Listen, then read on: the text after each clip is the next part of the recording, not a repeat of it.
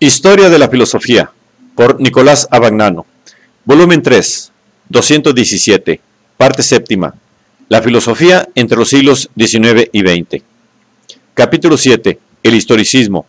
748. Corrientes metodológicas.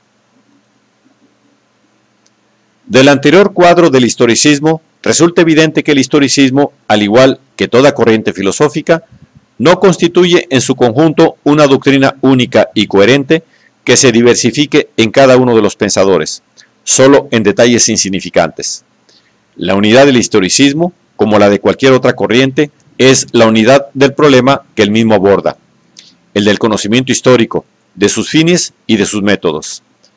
Se puede establecer sin lugar a dudas un balance de los resultados obtenidos por esta corriente, poniendo en evidencia los puntos sobre los que hay acuerdo unánime o casi unánime de sus defensores. Entre estos resultados incluye, por un lado, el reconocimiento del carácter individual del fin histórico, y por otro, el reconocimiento del carácter específico de instrumento de que se vale el conocimiento histórico, o sea, la comprensión e interpretación historiográfica. Pero aparte de la constatación de estos puntos, que, por lo demás, son expresados y justificados diversamente por los distintos pensadores, y de la unidad del problema, no se puede hablar de historicismo como de una doctrina única y sencilla, que pueda ser examinada, discutida y rebatida en su totalidad. Y sin embargo, esta tentativa la han acometido muchos escritores contemporáneos, cuya obra revela, en la disparidad del blanco de sus críticas, la inexactitud del planteamiento. En efecto, por un lado, se establece la ecuación entre historicismo y relativismo, y se le objeta al historicismo su incapacidad de garantizar la normatividad de los valores y la obra de la razón, como lo ha hecho Leo Strauss. Natural Right and History, Derecho Natural e Historia, 1953.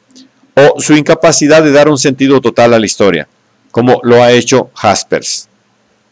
El origen y el fin de la historia, 1949.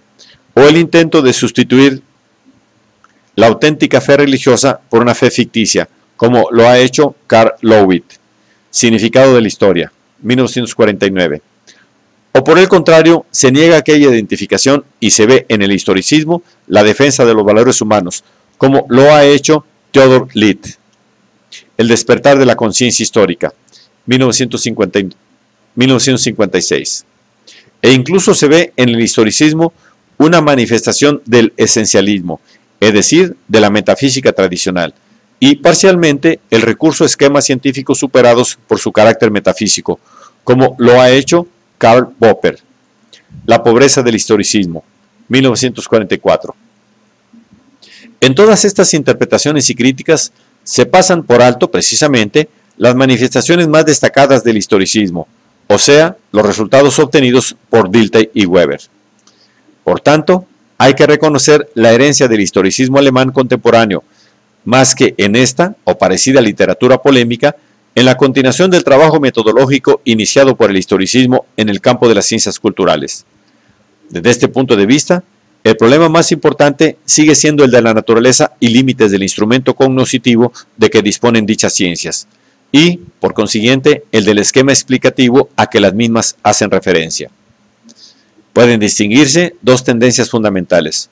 Una, a reducir el esquema explicativo propio de estas ciencias al de las ciencias naturales y reconocer en la explicación causal la única explicación posible en todo terreno del saber. Otra, a esclarecer la naturaleza de una explicación condicional, considerada como específica de las ciencias culturales.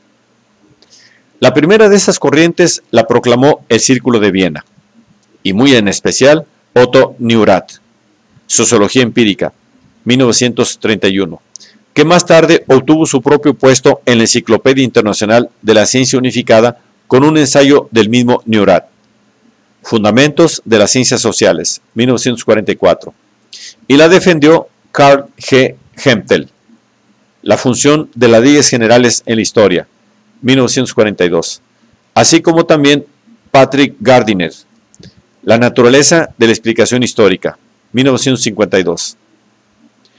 Desde este punto de vista, la explicación histórica es una explicación causal en el sentido clásico, consiste en determinar las causas de, de un acontecimiento y esta, y esta determinación solo puede hacerse mostrando cómo la verificación del acontecimiento A puede ser lógicamente deducida de ciertas reglas generales según las cuales un conjunto de acontecimientos de la especie C suele ir regularmente acompañado de un acontecimiento de la especie A. Hempel, en Readings in Philosophical Analysis, 1949. La explicación causal se entiende aquí en el sentido riguroso, sustancialmente aristotélico, como deducibilidad del efecto de la causa a través de una ley general que exprese precisamente la acción de la causa. La explicación histórica se distinguiría de la explicación propiamente tal, a lo más por ser un esbozo de explicación, es decir, una explicación imperfecta o aproximada. La otra explicación metodológica la defienden sobre todo los historiadores de profesión, los cuales tratan de poner en claro la naturaleza de los instrumentos que emplean, y se refiere principalmente al concepto de Weber de la posibilidad objetiva. Su defensa puede hallarse en la obra de Raymond Aron, Introducción a la Filosofía de la Historia, 1938. La Filosofía Crítica de la Historia, 1938. También la defienden otros autores como Mark Bloch. Apología de la Historia, 1949. H. I. Marrow. El conocimiento histórico, 1954. Butterfield la historia y las relaciones humanas, 1951. Pietro Rossi, El historicismo alemán contemporáneo, 1956.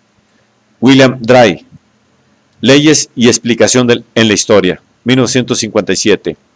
H. Stuart Hughes, Ciencia y Conciencia y Sociedad, 1958. John H. Randall, La naturaleza y la experiencia histórica, 1958. Asimismo, la han defendido historiadores y filósofos norteamericanos en dos volúmenes colectivos. Teoría y práctica en los estudios históricos, 1936. Las ciencias sociales en los estudios históricos, 1954.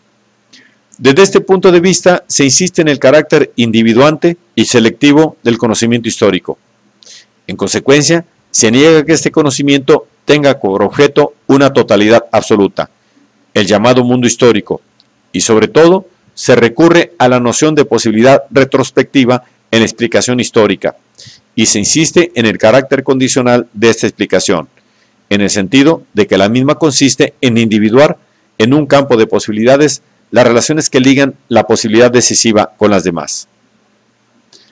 En apoyo a esta segunda corriente metodológica, puede observarse que, entre tanto, el esquema explicativo de que se valen las ciencias naturales y en primer lugar la física, se aleja de la explicación causal clásica, por lo menos tanto cuanto esta corriente metodológica presidida por Weber se aleja del esquema explicativo, propuesto por la primera fase del historicismo de la comprensión intuitiva. La polémica metodológica entre ciencia del espíritu y ciencia de la naturaleza ha perdido mucho de su fuerza con este acercamiento, y el esquema explicativo condicional que la misma quiere esclarecer puede considerarse igualmente alejado del necesarismo a que recurría la ciencia clásica de la naturaleza como el indeterminismo a que recurre el historicismo en sus inicios polémicos.